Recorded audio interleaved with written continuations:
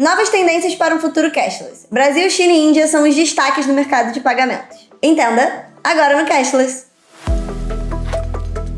Fazendo juiz ao nome do programa, né, o Cashless, recentemente o assunto sociedade cashless virou queridinho internacional, queridinho dos grandes veículos de mídia e inclusive é, a The Economist, né, uma das maiores revistas que fala né, sobre economia e finanças, fez um número especial só sobre isso, só sobre a movimentação da sociedade em direção a tudo digital, né, um sistema financeiro completamente digital. E chamou atenção porque colocou Brasil, Índia, China como os destaques, os casos a serem vistos. Então é o Brasil ali no centro do palco, né? Chamando atenção pelos movimentos, né? Pix, tudo que a gente tem, tem feito aqui e já aproveitado. É, e aí eu achei legal que também eles contextualizaram um pouco quais são as grandes teses, né? Quais são as tendências que, que vão ditar, né? Esse próximo movimento do mercado de pagamentos, dos pagamentos digitais, como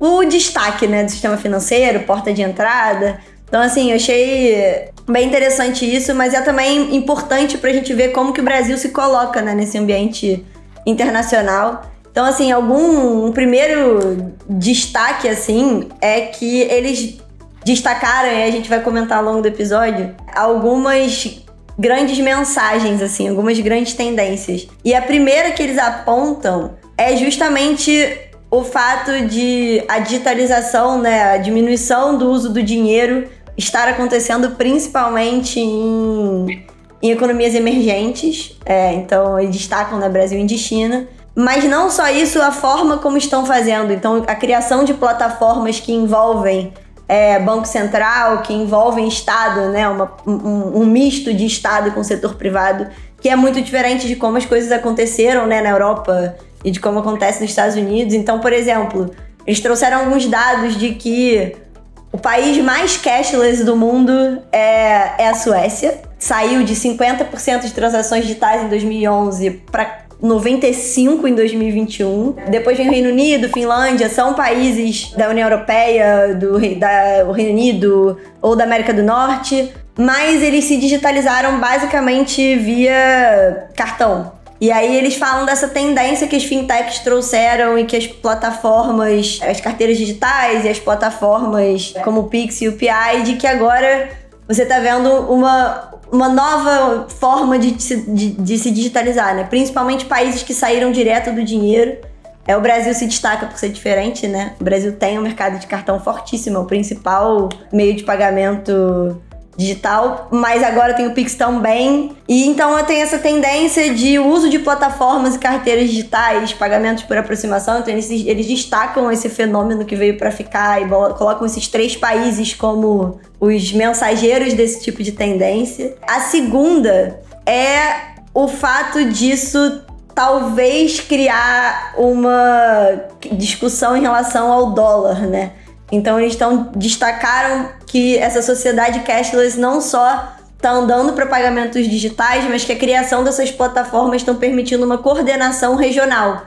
Então ele menciona bastante o caso da Ásia, né? É, com a China ali querendo que usem os modelos deles de pagamento, mas Malásia também tem outros casos. Uma outra tendência que eles apontam é justamente o desenvolvimento, a participação do Estado, né? a participação do regulador na criação dessas infraestruturas.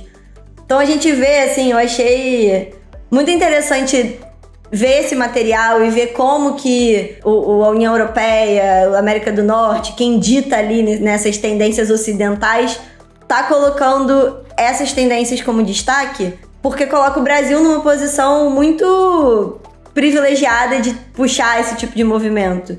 Então eles destacam também que tem uma, uma tendência de bancarização via pagamentos que mudou, né? Isso, inclusive, isso é uma coisa que a gente já escreveu algumas vezes no nosso site, então o pessoal pode ir lá olhar se quiser. Mas que a porta de entrada para o mercado financeiro deixou de ser a conta bancária e passou a ser o pagamento. Vê que isso já era uma coisa que era muito especulada, a gente falava bastante sobre isso também. Mas agora a gente vê que as teses estão se firmando, né? Já tem muitos anos que esse tipo de movimento está acontecendo. E está se firmando isso mesmo, de que agora as pessoas saem de ser é, usar só dinheiro, de estarem excluídas do sistema financeiro, elas entram no sistema financeiro via pagamento digital. E isso veio para ficar. E Brasil, Índia e China estão sendo colocados ali, elevados ao status de líderes desse movimento. Agora você, inclusive, também vê a diferença entre os modelos, né? Antes era como era tudo muito novo, não estava tão claro assim como os países tinham escolhido diferentes modelos. Então, você olha para a Índia, que talvez seja né, um, o grande modelo que a gente tem utilizado como ponto de referência, ela tem um modelo muito baseado numa lógica aberta, né? Então é uma, é uma, é uma prestação quase que estatal, né, como operador, onde você tem várias instituições financeiras podendo utilizar, que é um pouco a lógica de operação que você tem aqui do Pix também. Você consegue enxergar um pouco a, a, diferença em relação ao modelo chinês, onde o, o e o Chat funcionam como plataformas fechadas, né? Então essa transição para pagamentos digitais, eles funcionaram de maneiras diferentes, né? Você tem governo como operador ou algo próximo de governo como operador e você tem né, um agente privado funcionando como operador. Então, óbvio que, é, independentemente do modelo, você tem benefícios, né? Então, a gente viu, por exemplo, na própria próprio Quênia, né, a ideia do M-Pesa, né, uma, um, uma lógica de dinheiro é, digital que foi lançado no Quênia, né, e é, e é vinculado a um, a um player de telecomunicações, Safaricom, teve um impacto social violentíssimo, porque você conseguiu reduzir o custo de transferência do dinheiro. Então, tem estudos lá, estimativas acadêmicas, né, que chegaram até o ponto que você teve redução em pobreza extrema, né, porque você conseguiu facilitar esse repasse para parentes mais distantes, né, você reduziu o custo porque você tem assim um, percentual muito grande da população já utilizando esse modelo de pagamento digital. A lógica de você ter benefícios está clara, né? Outro perfil de benefícios que as pessoas têm falado bastante é a geração de informações. Você começa a ter um volume de informações disponíveis para credores e seguradoras a partir do volume de transações que você tem que são capturados pelos pagamentos digitais. E você tem o outro lado também, numa discussão, né? Será que você tem um problema de concentração, é, no caso das chinesas? Isso foi muito discutido, a gente teve é, algumas reflexões sobre isso aqui, pra, mesmo no canal, né? Porque teve o IPO lá da Ente que foi obstaculizado durante o tempo. Então a gente teve várias discussões sobre isso no mundo rolando, mas ao mesmo tempo também agora ficam mais claros os eventuais problemas que surgem decorrentes do modelo aberto, né? A gente tem meio que um modelo híbrido, né? Porque o Pix permite algumas tarifas, mas é, a ideia de você ter um modelo aberto parte do pressuposto que não necessariamente você vai ter uma linha de receita relevante do pagamento é, instantâneo. Então isso tem trazido argumentos lá do parte da, por parte da Índia de que talvez os bancos não tenham incentivo suficiente para poder fazer os investimentos em segurança e contra fraude é, para poder tornar né, a experiência do pagamento é, instantâneo a, a mais a, o mais utilitário possível, né, para você evitar esses efeitos indiretos que são negativos, né, que decorrem de você criar uma grande plataforma com um volume absurdo de gente, mas que também é, atrai aí, tem atratividade para pessoas poderem praticar crimes financeiros. A gente viu o volume de crimes financeiros também su subirem assim vigorosamente no Brasil. Isso é uma realidade também na Índia e se parte dessa discussão decorre do quanto isso seria decorrente de uma falta de uma linha de receita específica que pudesse trazer atratividade para os bancos poderem fazer é, os investimentos necessários para você garantir a segurança dos usuários. Então, assim, é, é óbvio, todo modelo tem prós e contras, mas a gente está começando a, a, enxergar com mais clareza esses prós e contras e as diferenças entre os modelos de pagamentos é, instantâneos. E não só a clareza da diferença dos modelos, mas o papel que eles cumpriram em qual caminho ia ser seguido né, na, nesse processo de digitalização. Porque quando a gente vai lá para trás, uns 5, 10 anos atrás, existia né, essa grande promessa de que quem ia cumprir esse papel era, o, era, o, era a cripto, né? Então a ideia de que ah, você fazia alguma coisa que fosse P2P e que não envolvesse necessariamente ter uma conta bancária. Cripto apareceu com essa grande promessa, mas o caminho, né? Inclusive até o próprio, o próprio relatório especial lá que a The Economist fez menciona isso e é um pouco que tem, que tem sido percebido, é que existem alternativas na medida que o sistema financeiro tradicional foi se modernizando e alternativas como o Pix foram aparecendo, o que o, a cripto conseguia, né, no mercado, enquanto possibilidade de pagamento, né, enquanto algo transacional e não como especulativo, o que ela podia trazer de caso de uso poderia ser feito mais fácil, mais rápido e mais barato de outra forma. Né? Então, em geral, é, no caso do Brasil Pix, na Índia UPI. Então, o, o, não só né, tem todo o problema da desconfiança que o mercado de cripto gerou no, no, nos últimos anos por causa falência da FTX, desenvolve, né, discussão ali entre o governo dos Estados Unidos e a Binance, a, a queda lá da, da Luna. Teve um processo de, de desconfiança muito grande que, que veio, né? Do, que o público ficou bem mais desconfiado de cripto, acompanhado dessa. O, o mercado não ficou estático, né? É, o próprio mercado tradicional começou a oferecer esse tipo de, de solução. Então aparece isso, né? Até é, os próprios alguns agentes do próprio mercado de cripto falando, achei bastante forte uma das frases que veio no, no próprio texto lá da, da Economist, que era um fundador de uma corretora de cripto, falando: ah, há dois anos atrás todo mundo queria ser agente, agora todo mundo nos odeia. É, um pouco forte a frase, né? Não, não é um exagero, uma hipérbole. Mas existiu esse movimento, né, de que talvez existam substitutos, né, mais, mais, mais regulados, mais seguros, é, do que cripto para essa funcionalidade específica ali de uso no dia a dia, de pagamento, né? Então a gente viu, né, o próprio relatório trouxe alguns dados, a queda de, de valor de mercado, né, que sai, chegou a 3 trilhões é, em 2021 e caiu para 1,3 trilhão né, de dólares em, dois, é, no, em 2023. Então teve esse movimento ali de que há uns anos atrás a gente ficava qual vai ser o caminho na hora de digitalizar, na hora da sociedade cashless, o que, que vai prevalecer. Do ponto de vista de pagamento, o que está prevalecendo são essas alternativas de plataformas, seja as fechadas como tem na China, seja é, Pix e UPI, mas esse formato de pagamento instantâneo tem prevalecido, não só né, no Brasil, né, tem esses outros exemplos internacionais. A gente viu agora os Estados Unidos estão querendo fazer o o FedNow, né, um modelo também mais instantâneo. Cripto deixou de ser visto tanto como a grande revolução em pagamentos que um dia esperavam que pudesse se tornar. Muito também por causa dos problemas de regulação. Agora o próprio mercado está pedindo regulação, né? A gente está vendo esse movimento acontecer, que eles querem a transparência, que eles querem a clareza. Mas aí, um, um, uma pergunta que o próprio material levanta, que eu acho que é muito boa de, do pessoal se fazer, que é o mercado de cripto sendo regulado e tendo que lidar com os custos e tendo que lidar com todo esse processo, o que, que ele traz de diferente do que já tem, né? Então, isso é uma pergunta de caso de uso, de que, que vai passar a ser feita e que eles colocam como uma possível tendência para o mercado de cripto, né? Eles vão ter que buscar é, uma forma de se diferenciar, uma vez que seja um mercado regulado, além de ter que lidar com as CBDCs, que é outra fonte, outro, outro outra forma pela qual o mercado está se digitalizando, pela qual a ideia do cashless está crescendo, é, que eu fiquei assim, a gente já sabia, a gente veio falando do real digital, né, do Drex com alguma frequência aqui, o pessoal vai colocar para vocês verem, mas um dado que eu não sabia e que mostra o quanto a discussão de moedas digitais de Banco Central tá forte é que já tem, né, 114 países que representam mais de 95% do PIB global, cogitando uma CBDC. Então, assim, já é tendência global sacramentada. E começou em 2016, não tinham discussões organizadas pré-2016. Então foi num período muito curto de tempo esse interesse. É, em 2020 eram só 35 países falando nisso.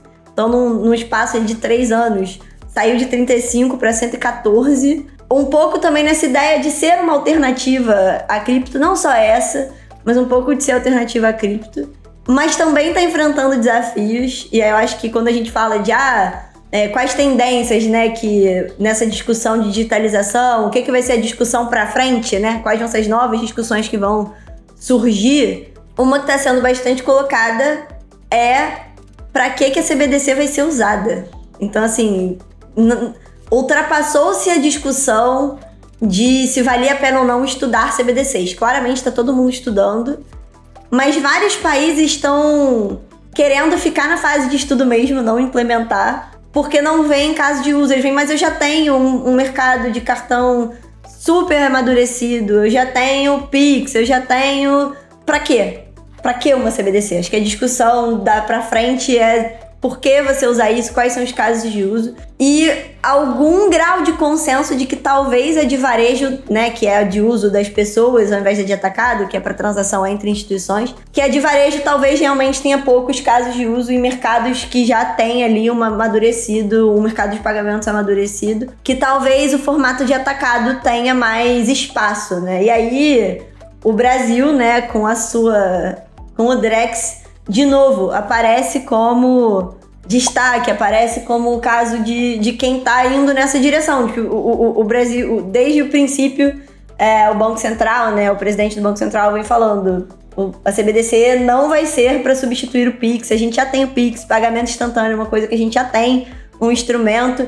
A gente vai usar a CBDC para poder tornar programável, para poder tornar a experiência, né, para poder coordenar o Pix, Open Finance, para poder coordenar todas essas iniciativas. Ele vai ser uma infraestrutura. Então, quando a gente vê o Brasil falando de qual vai ser o projeto do Real Digital, ele já está muito alinhado com o que esses materiais que vêm do mercado, que vêm da grande mídia, estão propondo, que é justamente no material falar se a gente vai discutir caso de uso, o caso de uso mais destacado, que talvez seja mais óbvio para uma CBDC, seja programabilidade, que é justamente o que o Brasil está propondo.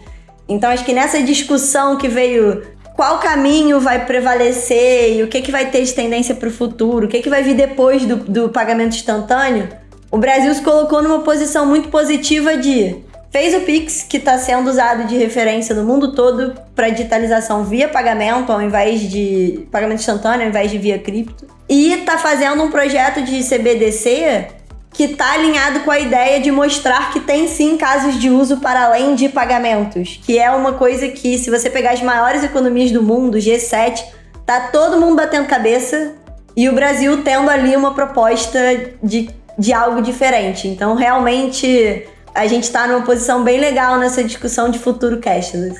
É, mas o que é engraçado do futuro cashless é porque ele mexe mais com o cotidiano uh, o dia a dia de pagamentos, ele também ele vai pegando alçadas mais interessantes, né? Então, uma grande dúvida que surge a partir disso é o que acontece com o dólar, né? Porque você vê também essa lógica de pagamentos alcançar um, um, uma dinâmica que é geopolítica. Então, você teve né, no movimento daquelas sanções, que a gente discutiu também pra caramba aqui, quando as redes todas de cartões ocidentais, elas pararam de funcionar na Rússia, a Rússia substituiu por um sistema, uma rede de cartões que, enfim, do Banco Central chamada MIR, né? A ideia de você tentar minimizar um pouco os impactos né, de pagamentos decorrentes da, daquele movimento de sanções que surgiram logo na sequência da guerra da Ucrânia. Esse exemplo, talvez mais é, é, significativo, mais hiperbólico, né, ele também trouxe clareza ou trouxe talvez mais é, luz sobre o que está acontecendo ao redor do mundo. A própria Índia tem um sistema que a gente tem falado bastante aqui do UPI, que ela está tentando expandir, né? Uma ideia de você também levar para Singapura, né? E, e, começar a coordenar o sistema de pagamentos rápidos para você não ter só ele é, restrito ao caso específico indiano. Então é quase como se você tivesse um sistema de pagamento de varejo que seja transfronteiriço, né? E a gente sabe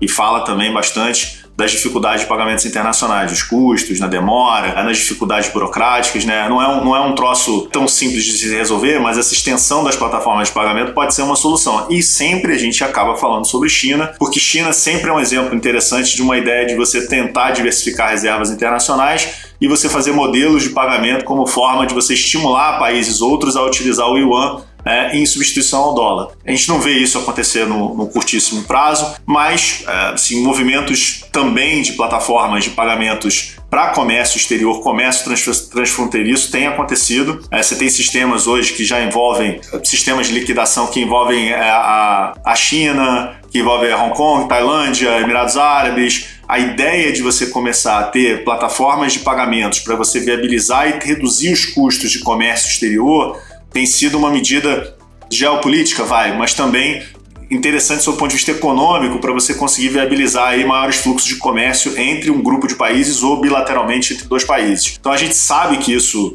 vai trazer é, diversidade de soluções de pagamento e vai também ter algum impacto no que hoje o papel do dólar tem, muito prevalente nas, nas transações internacionais. Alguma coisa vai acontecer, a gente não sabe ainda a velocidade e o escopo mas provavelmente no futuro a gente vai ter novidades sobre isso, porque pagamentos transfronteiriços e a ideia de você levar as plataformas digitais de pagamentos instantâneos para mais de um país é meio que algo além do previsível, já está acontecendo e o próprio Brasil já estuda essas medidas também aqui na América Latina. É, já está se falando, né, de ter PIX com outros países do Mercosul, né? Então é um, é um movimento que vai continuar acontecendo.